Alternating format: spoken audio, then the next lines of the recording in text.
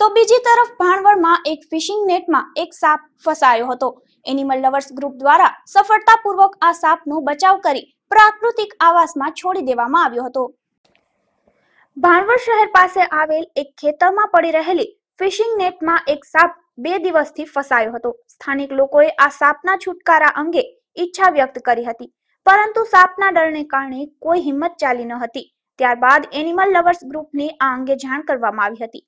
જે ગ્રુપના સભ્યોએ સફળતાપૂર્વક સાપને ફિશિંગ નેટમાંથી બહાર કાઢી પ્રાકૃતિક આવાસમાં છોડી દીધો હતો.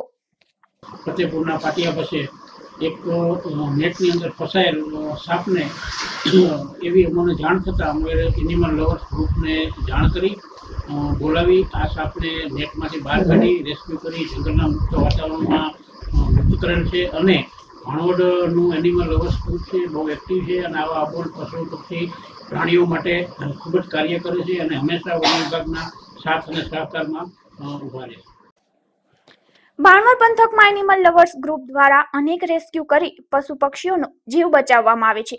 ત્યારે આ કામગીરીને લોકો પણ બિરદાવી રહ્યા છે. નીરજસિંહ જેઠવા, ગુજરાત ન્યૂઝ, ભાણવડ.